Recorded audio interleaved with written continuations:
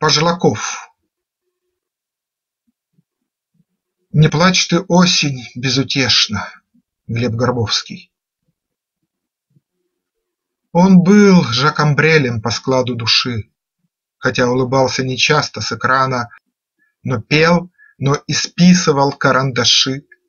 Чиновники праздновали в ресторанах На вырученные за подлость гроши Свои юбилеи, откаты и планы Мифических строек в губернской глуши. И разве при этом нужны Христа раны Любимому городу, славной отчизне? Чтоб с новою силой ударил прибой И дождик пролился над ним голубой, Ему не хватило мгновения жизни. Но водку шарашила Валька стакан, И город был глух, обескровлен и пьян. А приходит летний вечер, Шмель в траве гудит, И летят земле навстречу Синие дожди.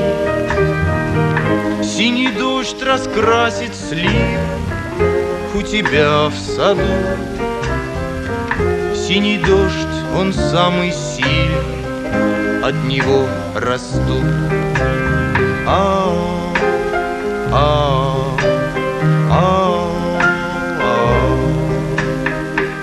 Осень озеро остудит, клена золотит. В сентябре приходят к людям желтые дожди. Желтый дождь протянет руки той судьбе и к той. Желтый дождь, он для разлуки он пока не твой. А, а, а, а. Мама, а бывают черные дожди, И пою я тихо сыну Днем и под луной. Бывает желтый, синий, серый, голубой. Спи, мой сын, приходят к людям разные дожди.